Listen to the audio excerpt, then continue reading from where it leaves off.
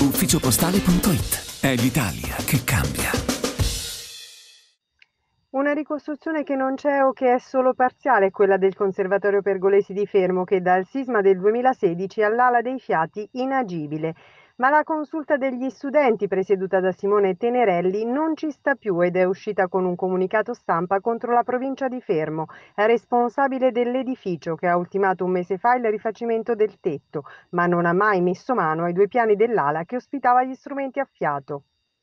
Eh, noi dalla consulta, insieme a tutta la direzione e al presidente del conservatorio, cerchiamo di smuovere gli enti che devono eh, ricostruire il piano fiati appunto e il piano sottostante.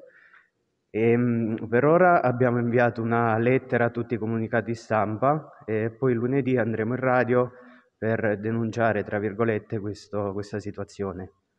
È uno stato di abbandono che quanto pesa su voi studenti?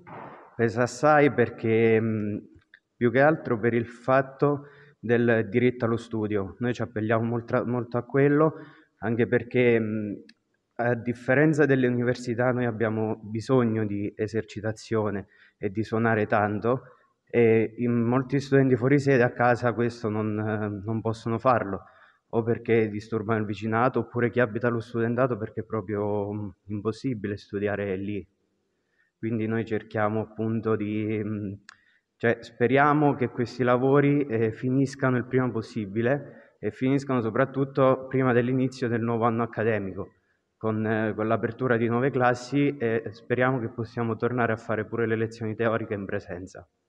Perché le lezioni teoriche le state continuando a fare in DAD proprio per la mancanza di spazi. Esatto, continuiamo anche dopo il Covid, continuiamo a fare le, appunto, le lezioni teoriche online e questo crea pure un, um, un poco, una, una poca comunione tra di noi anche perché prima eh, con tutte le lezioni teoriche, ad esempio storia della musica che ha una classe molto ampia, pure la, mh, cioè, si viveva di più la, mh, il conservatorio, lo spirito universitario, così lo possiamo chiamare, e oggi con tutte queste mh, eh, lezioni teoriche questo spirito manca, viene a mancare.